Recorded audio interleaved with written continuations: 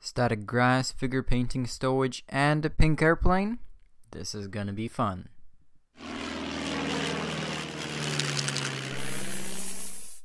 So last time we finished this fighter reconnaissance Spitfire in 72 scale, and now I decided to make a scenic base for it, because, well, frankly I've got nothing better to do, and also I want to get better at making dioramas.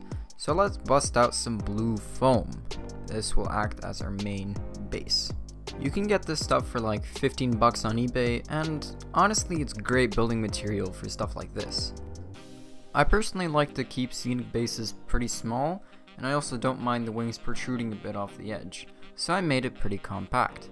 I think it's easier this way to focus on smaller details and just make it look better overall, versus having to deal with a huge area and trying to hyper detail everything. The foam was a bit rough around the edges, so I somewhat fixed that with some sanding. To make things a little more interesting, I also picked out two stowage pieces from Value Gear and Resin. These are actually 48 scale, but they also pass in 72 scale. Alright, let's shoot everything with a dark oxide brown primer. This will not only get rid of all the blue on the foam, we definitely don't want that showing through, but also unify all the resins so the acrylic paints we'll be painting them with stick a lot better to the surface. I don't know why I primed them separately because they're going to be sitting on top of one another, so at this point I just super glued the tarp on top of the crate. Let's continue with the base though. The next step is I painted the sides in flat black.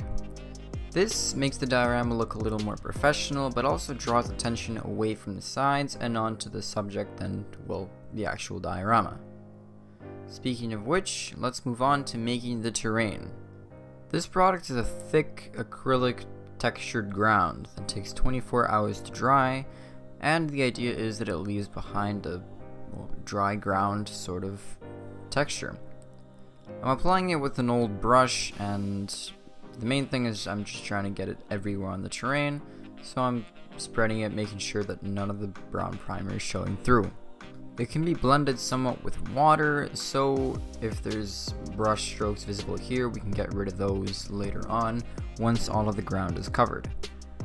I'm doing this in a random sort of stippling motion with the same brush. Covering the diorama with clear foil after it hasn't dried yet, I take the crate and the plane and make imprints of wherever they're supposed to stand, just so they're not sort of floating on some rocks or something. I also take the opposite end of a brush and make tire tracks for the plane as if it was pushed backwards by the crew. Now let's get to the exciting part of this build, static grass. And here I get to try out my new static grass applicator. For the majority of this diorama, I'll be using this 2mm static grass from Woodland Scenics. The process is really quite simple.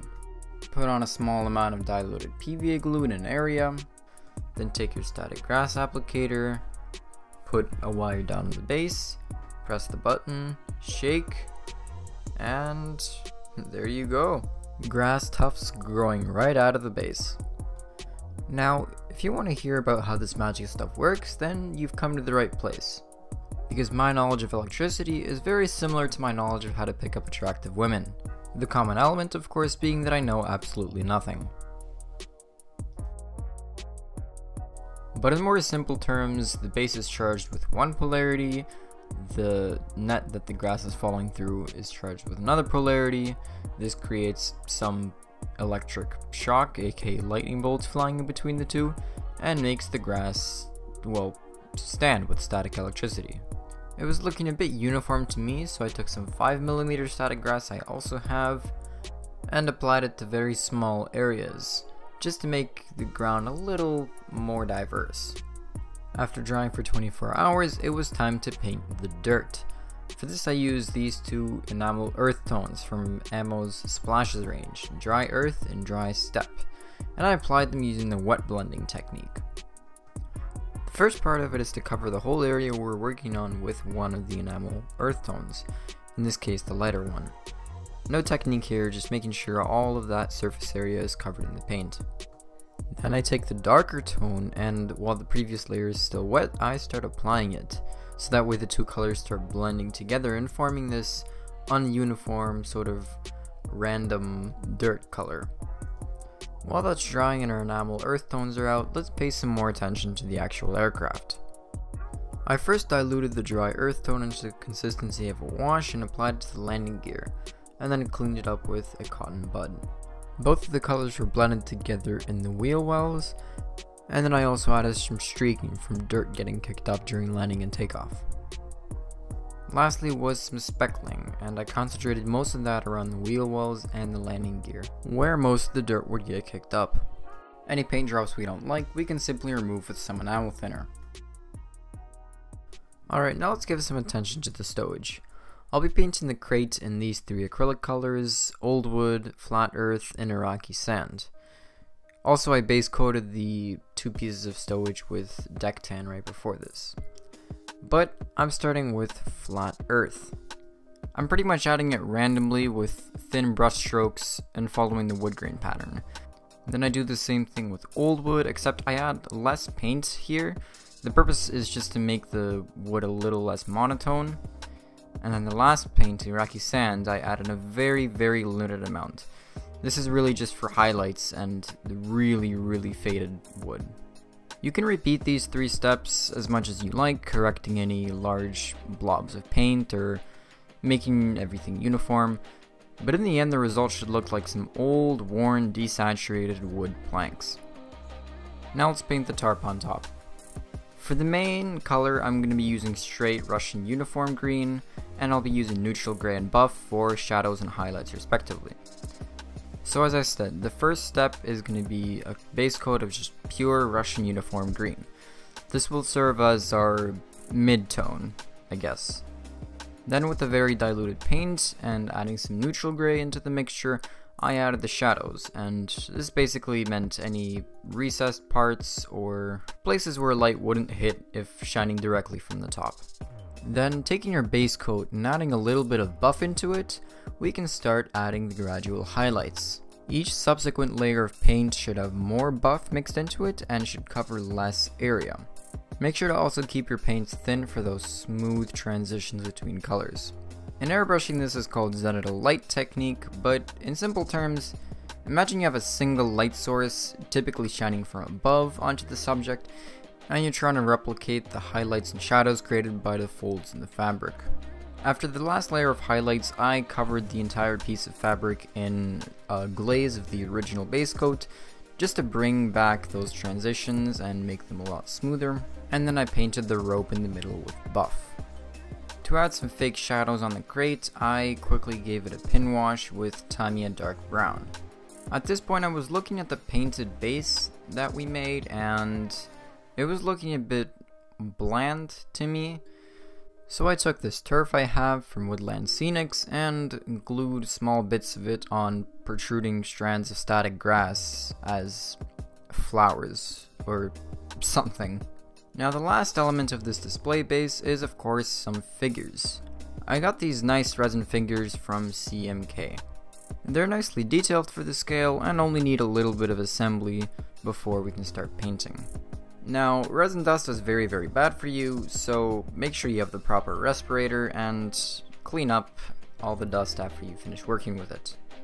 Let's begin painting with a nice base coat of brown sand. This is going to be the darkest skin tone and it's to be the one that we're to be adding highlights over, but I'm to lighten it up in the future, you'll see what I'm talking about. After that I added a wash mixed from scarlet and saddle brown and this was added to all of the recessed parts such as the eyes, the mouth, the nose, just to make fake shadows. Since this darkened the previous layer of paint, the next step would be to repaint everything with brown sand, but the base coat was a little too dark for this scale for my taste. So I mixed brown sand and flat flesh in around a 50-50 ratio for the base coat over which we'll be adding highlights. And for highlights, it's pretty much the same process as on the tarp we painted earlier. More and more flat flesh is added into the mixture in subsequent layers that cover less and less area. I'm adding highlights to places like the top of the nose, the forehead, the cheekbones, the upper lip, basically anywhere where light would naturally fall more than other parts of the face. I know you don't really have to bother in this scale, but I still painted the eyes in saddle brown. As I said, figure painting, especially flesh tones, aren't really my forte, and I'm constantly trying new things to improve. Now let's paint the rest of his uniform. For the RAF blue, I'm using a mixture of dark Prussian blue and neutral gray. I decided to first base coat everything and then start adding highlights and shadows. Not really a specific reason for that, just wanted to get all the base coating out of the way, I guess. His life vest was painted with flat yellow, and his boots with a mixture of saddle brown and black. Now we can start adding highlights and shadows, starting with the boots, I guess. Adding more black paint to the mixture and of course watering everything down, I added shadows into, you guessed it, the recessed parts and where light wouldn't hit from the top. Then using some flat earth, adding it to saddle brown, just to lighten up the brown a bit, I added highlights to the raised parts of the boots. Moving on to the uniform, I added more neutral gray into the mixture to add shadows, and then used a dark slate gray, which is actually a lighter color than neutral gray. And yeah, that was mixed in with Prussian blue to add highlights. Just another reminder to keep your paints thin at this point, so the transitions between colors are smooth, because otherwise the uniform is gonna look like blue zebra pants, and that's something we don't want. The last few details were painting his hair and his cigarette. And yeah, that's it, he's done. Because he's the one that I filmed, naturally he turned out the worst out of the three, but eh, that's just how it goes. Well, now that everything's painted up, we can start putting everything on the diorama base. I'm securing most of the elements with super glue. Just make sure to press whatever you're gluing down so it's not floating on some strands of static grass. And they're actually pretty rigid, which is a surprise to me. And that's gonna be it. The diorama is complete. Well, I don't know if you could really call this a diorama. Even though there's a story being told between some of the figures, I just don't think there's enough elements to it for it to be a proper diorama. I'll think of it more like a simple display base. I have some other more complex scenic bases or dioramas planned in my head, so this was a nice and simple introduction to the field. But what do you guys think? Let me know in the comments. Do you think I did good? Do you think this diorama was a horrible idea and I should never touch scenic bases again? Let me know. Either way, thank you so much for making it to the end. I truly am grateful. And if you liked the video, don't forget to leave a like and subscribe because more builds like this are coming. If you aren't following me on my Instagram and Facebook pages, you should probably do that too because I post some in progress pictures there and some other builds which I'm not filming. So if you want to go see that, I'll link them both in the description below. Other than that, thank you all so much again for watching and hopefully I'll see you next time. Peace.